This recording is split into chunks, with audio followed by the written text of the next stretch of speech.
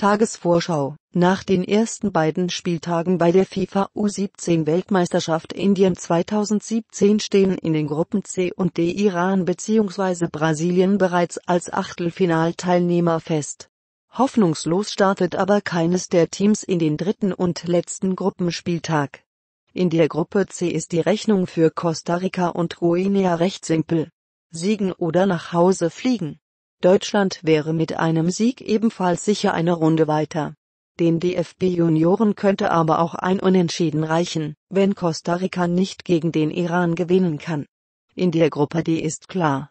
Korea DVR ist zum Siegen verdammt, um ihre Chance auf das Weiterkommen zu wahren.